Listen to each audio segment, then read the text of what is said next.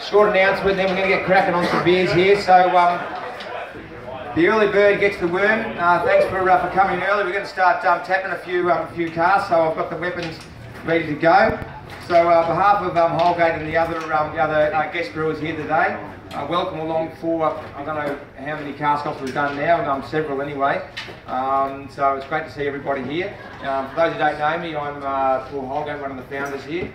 So we've got a great um, lineup of, of uh, cask beers to try. So I'll, um, I'll introduce some, some of the some of the brewers here, the guest brewers and Holgate team. So if you've got any any questions about the beers, we've got some brewers on hand to um, to uh, answer them or to fluff their way through the, the answers anyway. so, um, so we've got Three Ravens. We've got uh, Brendan, put your hand up from Three Ravens. Um, we've got Nathan from Three Ravens. Where's he? Up the back there. And also um, Alex in the back left from Three Ravens. So um, we've got um, Ash from Barrow Boys on the far uh, right with the, with the hat there. Um, and um, we've got uh, Dan from Holgate um, there, and myself, of course. We've got uh, Michael, um, sales manager from Holgate here, taking some videoing, and a couple of other Holgate uh, crew will be along later on.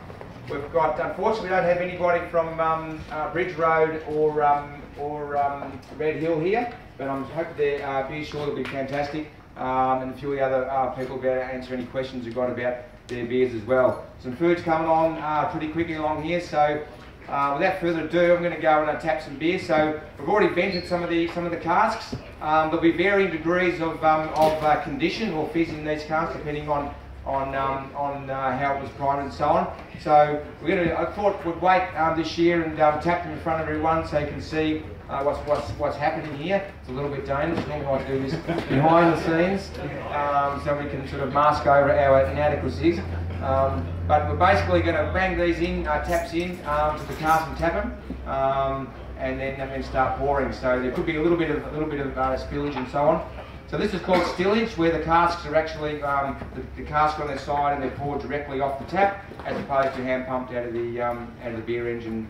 Um, is the other way to do it. So without further ado, get around your nearest cask and we'll get cracking.